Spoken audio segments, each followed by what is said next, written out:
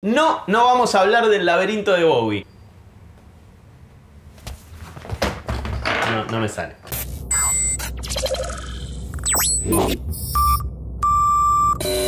Hola gente, ¿cómo están? Les doy la bienvenida a un nuevo hashtag datazo, información completamente inútil pero que se va a quedar agarrada en tu cerebro. Hoy vamos a hablar de laberintos y vamos a contar el método para salir del mismo. Que ya lo contamos en un short en este, pero capaz no lo viste porque tiene como dos años. Y si lo viste, igual vamos a elaborar un poquito más. Antes que nada, si los videos de este canal te gustan, me ayudaría muchísimo que te suscribas. Ese botoncito que dice suscribirse no tiene mucho misterio y es gratis. Y a mí me ayuda muchísimo y para vos es un clic. Ahora sí, arranquemos. Bueno, todos sabemos, creo que es un laberinto. Seguro de Peque hiciste alguno de esos infantiles que tipo hay un perro en una punta y un hueso en la otra, entonces vos tenés que encontrar el caminito para que el perro encuentre el hueso. No nos vamos a meter mucho con la historia de los laberintos porque la verdad que sería medio mole y acá lo que queremos es pochoclo. Solo vamos a decir que el más antiguo conocido es uno que apareció en una tablilla de pilos que es del año 1200 antes de Cristo y que el más conocido posiblemente sea el laberinto de Creta de la mitología griega. Porque si no conoces la historia te la hago corta, habla de Dédalo que era un arquitecto de Atenas que lo destierran a la isla de Creta y ahí por pedido del rey Minos construye un laberinto que es donde encierran al Minotauro, este monstruo mitad hombre, mitad toro. Lo cual, si me permiten, no es la forma más efectiva de encerrar a alguien o a algo porque un laberinto tiene una salida. Pero bueno, como no soy un griego de la edad antigua, no opino. Ahí cada tanto para calmarlo al Minotauro hacían sacrificios humanos, que supongo que se los llevaban hasta donde estaba el Minotauro, hasta el centro. Con lo cual al Minotauro le bastaba seguir a la persona que le llevaba al sacrificio hasta la salida y salir también. Pero bueno, como no soy el Minotauro, no opino. Cuestión que Pinque Pama Dédalo lo encierra el rey Minos en el laberinto junto a su hijo Ícaro, porque parece que ayudó a Teseo a escaparse. Que lo habían como metido ahí adentro y Ariadna le dio un piolín que aparentemente la idea se la tiró este Dédalo. Y entonces fue desenrollando el piolín adentro del laberinto, mató al Minotauro y después tiró el piolín y salió. Entonces, nada, a Dédalo lo encierran ahí en el laberinto, que siendo Dédalo el que lo construyó y viniendo de ayudar a alguien a escaparse del laberinto, como que debía recontra conocer la salida del laberinto. Así que capaz no es el mejor lugar para encerrarlo a Dédalo, pero bueno, como yo no soy el rey Minos, no opino. Y ahí encerrado Dédalo, que por algún motivo se olvidó de cómo salir del laberinto que él mismo construyó, armó para él y para su hijo, para escapar, unas alas de cera y plumas, que no sé de dónde sacó todo eso en un laberinto, pero bueno, no importa, y se escaparon volando con esas alas de cera y plumas sobre el Mediterráneo. El hijo no le dio bola a las recomendaciones que le dio el padre y se cebó en volar cada vez más y más y más alto, y los rayos del sol le derritieron la cera, se le fueron las alas y cayó en el mar. Que si vos volás cada vez más alto, en realidad el aire está cada vez más frío, con lo cual la cera no se te va a derretir. Y eventualmente para cuando pueda ser un problema el calor por estar volando cada vez más alto, vas a tener otras cosas más importantes de las que preocuparte. Por ejemplo, la falta de oxígeno. Pero como no soy una persona con alas de cera volando sobre el Mediterráneo, no opino. Bien, analizando los laberintos, lo primero que hay que decir es que hay dos tipos. Dos. Los univiarios y los multiviarios. Es muy fácil de entender esto. Los univiarios o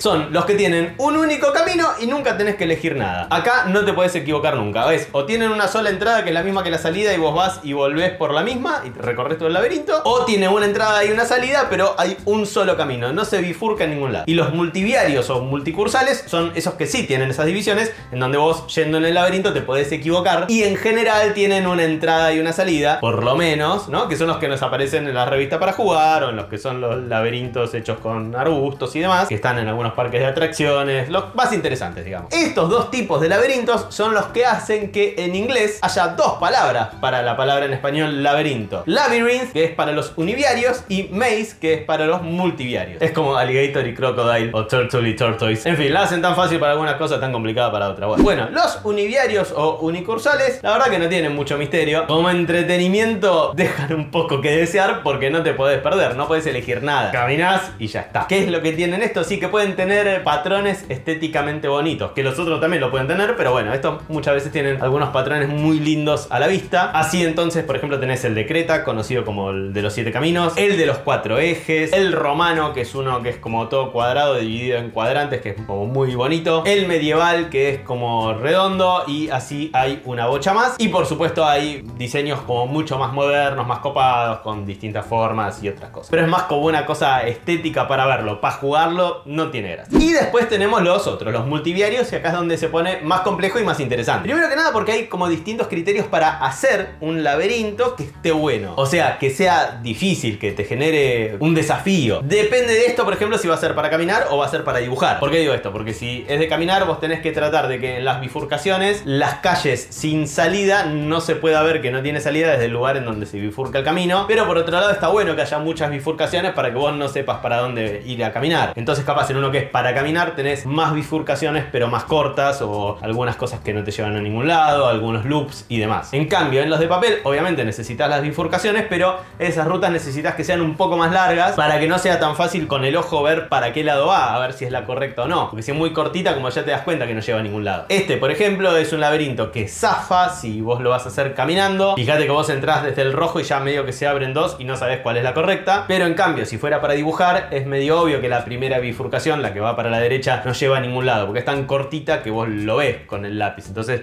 ni la elegís, seguís por la otra. Y acá, hablando de solucionar el laberinto, es donde nos metemos con el ñoñómetro, porque vamos a hablar de las distintas formas de solucionar un laberinto. Hay un montón de algoritmos, un montón de métodos para resolverlo. Más que nada esto pensado en los laberintos que son tipo de caminar o que por ahí tiene que ir un robot por adentro tratando de resolverlo, esos que son con plantas o que son con paredes, y que entonces es como muy difícil saber si ya pasaste por una intersección o no, pensándolo de memoria. Los que son de dibujar, como que vos vas con el lápiz y bueno, te, te vas dando cuenta. Y entonces, si vos estás en uno de estos laberintos y vos tuvieras una lógica que pudieras ir repitiendo todo el tiempo, un algoritmo, sería mucho más fácil encontrar la salida. Uno de los primeros que analizó esto en forma matemática fue, cuando no, Leonhard Euler, arrancando la rama de las matemáticas que sería la topología, la ciencia que estudia los topos. Siempre que sea un topo geométrico y que vayamos a estudiar su cuerpo. ¿Mm? No es eso, pero bueno. Así que acá vamos a ver algunos de los métodos para salir de un laberinto. El más simple y que te va a servir, me animaría a decirte, en el 98% de los laberintos estos así hechos con plata, o capaz 98 es un montón. 80, ponele siendo precavidos. En más de la mitad, el chabón va abriendo paraguas. Bueno, ese método es el de ir tocando una pared. Vos cuando entras al laberinto elegís una pared, la que vos quieras, la izquierda o la derecha, da lo mismo. Y después vos vas recorriendo tocando la pared, o sea, siguiendo la superficie de la pared. El único requisito es no dejar de tocar la pared, nada más. No va a ser el recorrido más eficiente, pero sí te va a llevar a la salida. ¿Por qué? Bueno, porque para que haya un camino que une la entrada y la salida, la única forma es que la superficie de las paredes del laberinto se parta en dos, en cada uno de los costados de la entrada y de la salida. Entonces, si vos vas recorriendo el laberinto tocando una pared, lo que estás tocando es una de esas dos mitades de una pared gigantesca. Esto suena como medio abstracto, pero si lo ves, se entiende más como que son dos paredes. Si agarramos el ejemplo anterior y ponele usamos el botecito de pintura de Photoshop, ves que todo eso es una pared y todo lo otro es la otra pared. Entonces, si vos vas tocando una pared, salís sí o sí, porque en algún momento vas a llegar a la salida. Obviamente, esto le saca la gracia al laberinto, que es ir dando vueltas perdido y tratar de invocarle, tratar de pensar por cuál pasaste, por cuál no. Esa es la gracia de un laberinto de arbustos y no resolverlo rápido. Pero bueno, si ya te embolaste de andar recorriendo, que decís, dale loco, quiero salir de acá, agarrás un punto y empezás con la mano en la pared y salís. En el peor de los casos, si estás en el medio y arrancaste para el lado equivocado, vas a salir a la entrada, pero salís. Yo lo probé en el verano con Flor y Julita en el laberinto de la Serranita en Córdoba, cuando nos habíamos ya aburrido de dar vueltas como loco y funcionó, salimos. ¿Cómo te pueden arruinar esta estrategia, la de ir tocando una pared? Te la pueden arruinar si te ponen una isla en el laberinto y adentro de esa isla te ponen la salida. O sea, si la salida está en el medio del laberinto y no en uno de los contornos, tipo por ejemplo con un puente, ¿no? Que vos tenés un puente que sale del medio y te saca del laberinto. O un túnel, puede ser también, pero me daría un poco más de miedito. Ahí entonces la tenés un poco más jodida, porque como la isla va a estar desconectada del resto de las paredes, no la vas a llegar nunca a tocar con la mano y nunca vas a llegar a ese puente que está en el medio. Probablemente usando el método de ir tocando con la mano, en algún momento te acerques lo suficiente como para darte cuenta que eso es una isla que nunca tocaste y te puedes cruzar y tocarla si te la quieres jugar. Pero bueno, no funcionaría el método exactamente como funciona, que es ir tocando y salir. Ahí la única que te queda es recurrir a algún otro algoritmo o jugártela como dijimos recién. Pero pasa que todos los otros algoritmos implican ir marcando los lugares por los que pasaste. Uno de los más conocidos es el algoritmo de Tremont, en honor a su creador, Charles-Pierre Tremont, un ingeniero francés del siglo XIX, siglazo, siglazo, que armó un algoritmo que luego derivaría cientos de años después en uno llamado búsqueda en profundidad, que se usa un montón en la teoría de grafos. Es medio complicado nombrar las reglas, pero la idea es que cada vez que se abre, que se bifurca, vos marcas un punto en la salida de ese tramo que estás como saliendo justamente y un puntito en la entrada del tramo que estás entrando. O algo, una,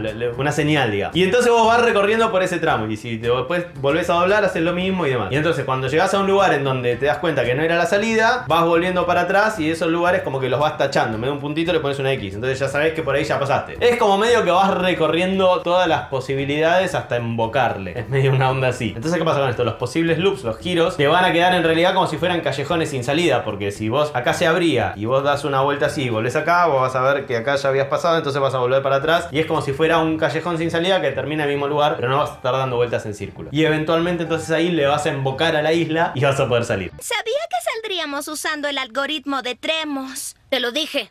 No lo hiciste, tu plan era quemar el maíz. Este algoritmo es muy efectivo y sirve para todos los laberintos, ya sea que tengan isla, que no tengan isla, el que sea, pero tenés que ir marcando. Y si es tipo un parque de diversiones, explícame vos cómo vas marcando algo sin que nadie te lo borre. O sea, tendrías que ir como, no sé, cortando papelitos y metiéndolos entre los arbustos y después entonces vos vas volviendo para atrás, mirando entre el arbusto, buscando papelito por papelito, es un delirio. Pero bueno, que funciona, funciona. Y te sirve además para laberintos en 3D, porque sí hay laberintos en 3D, imaginarios, ponele, o sea, podés hacer como con conexiones internas que no se verían desde afuera. Y después hay unos que se venden también que son laberintos en 3D, que son un juguete, los vas moviendo con una bolita y vas haciendo que la bolita vaya de una punta a la otra. 7900p no está tan mal. Y si no, como siempre, la otra opción es llevarte un blob y tener bastante tiempo. ¿Qué es un blob? Es un mo, en realidad no es un mo, pero todos le dicen que es un mo, así que es un mo. Que es como una especie de célula gigante, organismo unicelular, pero que es una célula gigantesca y que por eso es que la podemos ver y no hace falta un microscopio, que tiene muchos núcleos de color amarilla y que se va como expandiendo y que es este modo que salió en algunas noticias, capaz la viste, que lo ponen tipo en un laberinto y le ponen comida en la otra punta y se va expandiendo, no sabemos, no saben los científicos cómo hace, se va expandiendo por dentro del laberinto, llega a la otra punta y después como que deja solamente el camino más corto y los otros como que los anula, o sea que descubre cuál es el camino más corto entre un punto y el otro, una flasheada porque nadie sabe cómo lo hace porque es un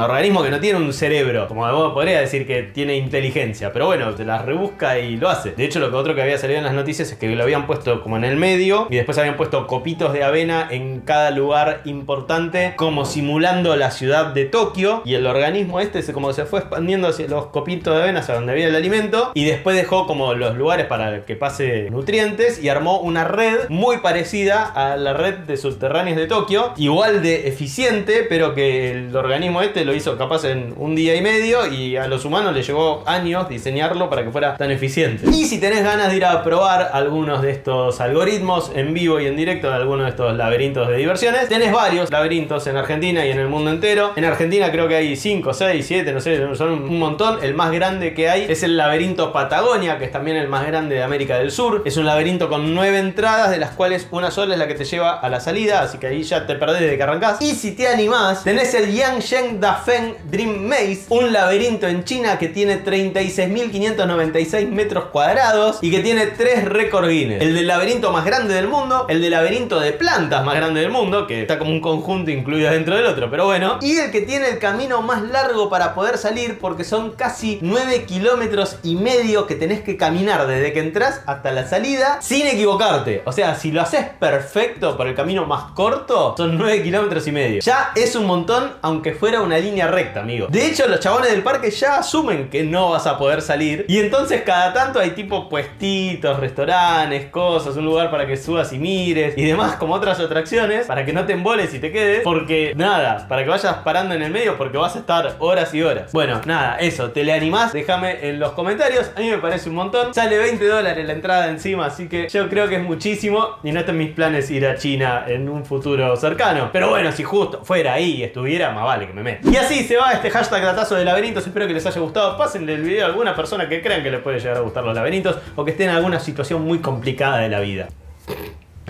Y si no, como siempre, con un like, con un comentario me ayudan un montón. Los quiero muchísimo. Nos vemos la próxima, gente. Chau.